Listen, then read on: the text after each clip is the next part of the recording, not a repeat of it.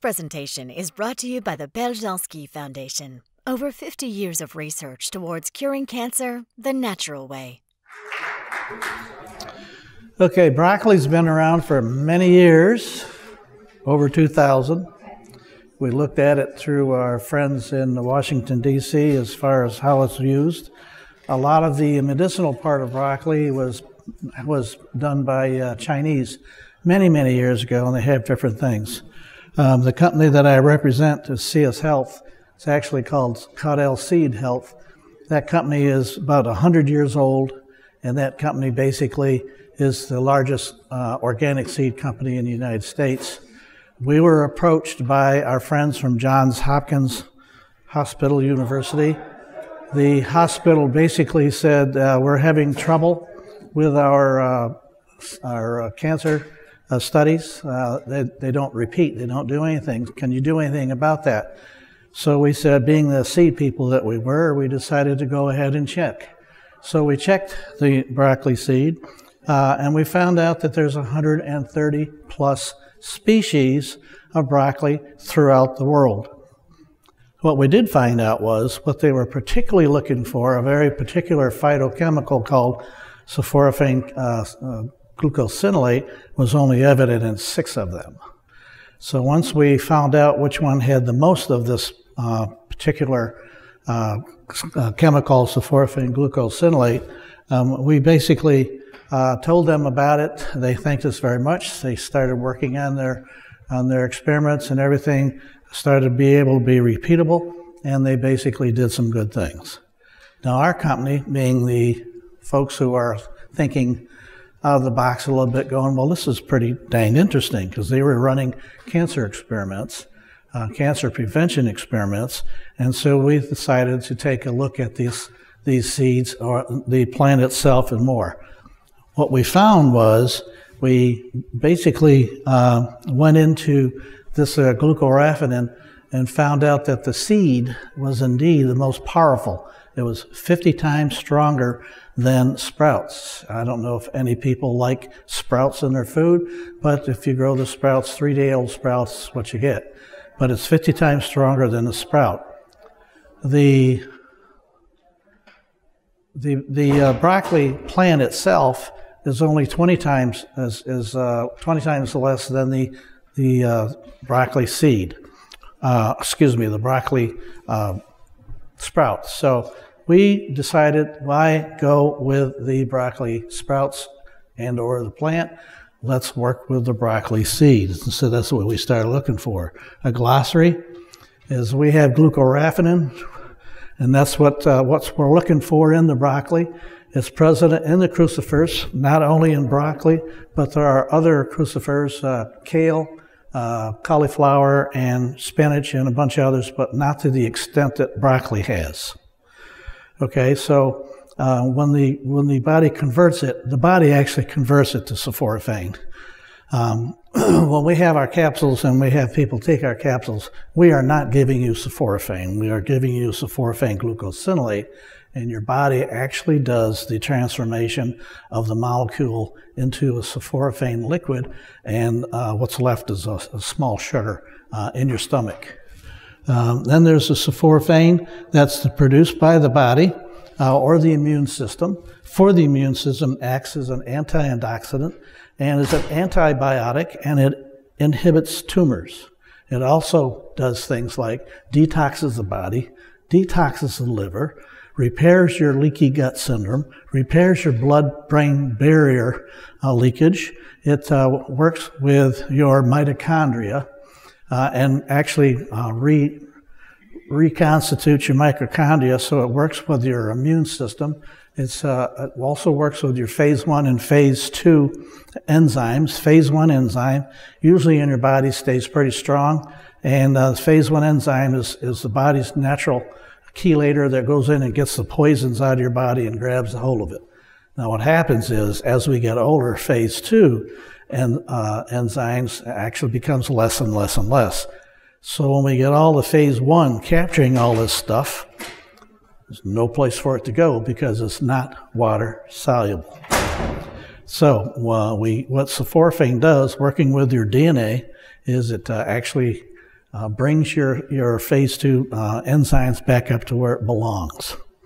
And now you're able to kick the stuff out of your body because phase two makes this material water soluble and it goes right out through your kidneys. Okay, and then of course chemoprotection. That's basically our defenses that provides our, our immune system. And our immune system basically, most of our immune system, believe it or not, is the stomach. It is the stomach. And so if your stomach is in turmoil or having problems with it, your immune system is suffering from it at the same time. Uh, another thing that sulforaphane does to the body is if it uh, if it comes uh, if it uh, is uh, if it's transformed in your stomach uh, by use of the microflora gut, the, then what happens if you have something called H. pylori bacteria? H. pylori bacteria is what causes things like um, leaky gut syndrome, or it causes you to be very, very sick. Uh, sulforaphane will kill that H. pylori bacteria in five weeks. It is the only thing known right now that will take care of H. pylori. Now, we in the United States are basically pretty good shape as far as H. pylori, but as we have more and more and more people coming into the, the country, uh, what happens is, is we're getting more of a mix of folks with H. pylori bacteria. So then they need that. Now, the test for H. pylori bacteria is you cover your mouth with your hand and you smell it, it smells like ammonia. If your breath smells like ammonia, you better start figuring out a way to take care of that H. pylori bacteria. Okay. Um, this talks about recent shifts in oral practices. Uh, basically, the frequency of uh, meals has caused a lot of our problems in our stomach. Uh, the type of materials, uh, the lectins, all that material. Uh, our bread, our bread is not good. If you go to Europe, our, the bread there is fantastic. There's a big reason for that, and the reason for that is our fellow folks in the uh, in the uh, uh, food business do not take the hulls out. The hulls of any wheat, rice, all those is the problem. Uh, if you take the hulls out, then you won't have a whole lot of problems that we do in the United States. In Europe, they take those hulls out, and their breads and all that is much, much better for you there. I love going to Germany because their breads are just great. You can eat all you want, and I love bread. okay, so What's it do with, ca- with cancer? And now I said we don't give you a cancer killer. We don't. The FDA would get very excited with our company if we said we had our, our capsules are cancer killers and we kill cancer. We don't do that. What happens is, is when your body changes the sulforaphane glucosinolate into a liquid, um, liquid uh, sulforaphane, what happens is the liquid sulforaphane gets into your bloodstream along with your DNA, and because it's in your bloodstream, your cancer is tied into your bloodstream. That's how it gets fed. Your cancer loves sugar, by the way, just in case you don't know. If you have a real propensity for sugar, uh, you might want to check yourself out a little bit, but that's because there might be a problem there. Uh, and basically the the uh, the sulforaphane, liquid sulforaphane, along with the DNA, doesn't recognize sulforaph, uh, the cancer as a part of the body. It recognizes it as a foreign agent. Our own DNA doesn't recognize cancer as something foreign because it's really from our own cells. But the sulforaphane, which is a plant defense system as well, basically recognizes it and goes right in, right into the mass of cancer through the blood streams and turns on something called, and you may have heard this before, apoptosis. Now we have apoptosis, all of us, every day, where we have thousands of can- or thousands of cells um, being born and dying us through apoptosis. Cancer doesn't die; it gets bigger and bigger and bigger, unless you have something come along like sulforaphane that will turn a switch and then it starts dying. It'll shrivel up and go away, and actually, what you have left is like a little pock mark. Okay, why broccoli seed? As I explained that before, it's 50 times stronger. I get ahead of myself a little bit. And let's see. So, CS Health, basically, um, we have come out with a ca- capsule. We are the first ones to do it. It's been around for 20 years. Our first capsule basically was a regular capsule where we took out the oil. You got to have the oil out of the broccoli. Broccoli's got 30% oil in it. And you take the broccoli seed oil out because your stuff will turn rancid if you don't. Now, I don't know if you've ever smelled rancid oil, but it's pretty bad. Uh, so, and then what's left over has the sulforaphane glucosinolate in it, and it's uh, got a five year shelf life minimum, minimum. Okay, so we put this in uh, in the capsules, and once we put it in the capsule, uh, our original product, uh, the sulforaphane glucosinolate, was freed uh, by the by the stomach gut microflora. The microflora did that. Doctors didn't like that.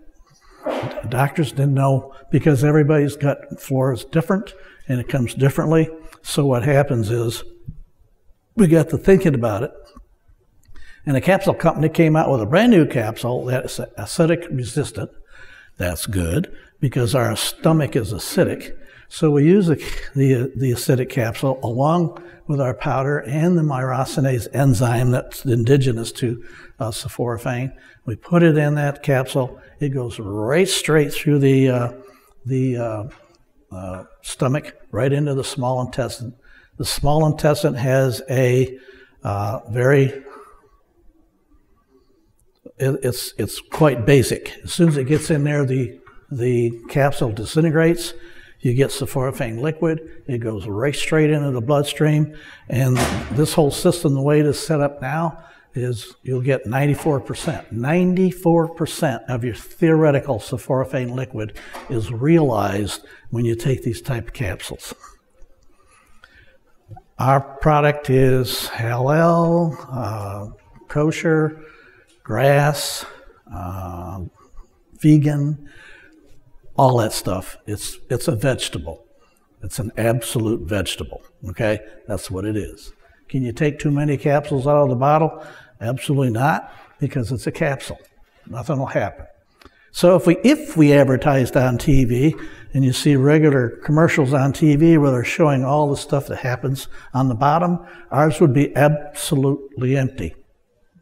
There are 35 to 40,000 articles out on the internet that uh, talks about sulforaphane. A lot of them start out by saying it's commonly known that sulforaphane kills cancer. That's not exactly right, but that's how they start out. And we pull those articles off the internet. It covers autism, it covers heart, it covers uh, uh, if you have uh, uh arthritis, it does many more things. I actually call sulforaphane a uh, multitasking phytochemical because it does so much things for you. Okay?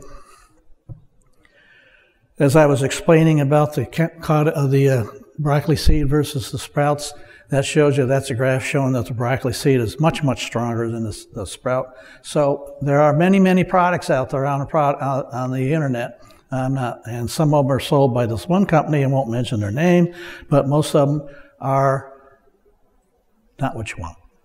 I'm not going to call it junk, but it's not what you want. You're not getting your money's worth. You're just not getting it, okay? And what they do is they grind up the whole stalk. Well, the whole stalk is very little sulforaphane that you're looking for. Now, it's broccoli. Broccoli still has all of the uh, vitamins and enzymes, and everything's still in it in the bulk.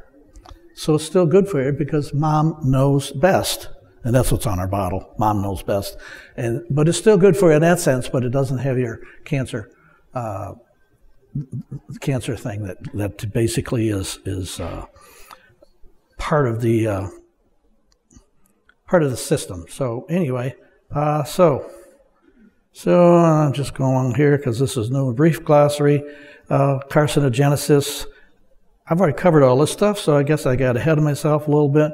Um, but the uh, sulforaphane glucosinolate basically is a very powerful, body friendly phytochemical. And the reason why we got thinking about broccoli in the first place was Broccoli itself protects itself because of the sulforaphane. If you have a garden and you want to protect your garden, plant broccoli all the way around it. And it'll get rid of a lot of the bad bugs and everything else because they don't like it. Because when they eat into it and it creates the sulforaphane, it, it's not a good tasting material and they stop. So that's all part of that. Okay, so there's, I guess I'm way ahead of myself here. So as far as I'm concerned, this material here, uh, it's 20 years old. We've had absolutely no negative results. The internet has nothing negative that has to do with sulforaphane. Uh, there's no, absolutely nothing, nothing negative at all. Thank you.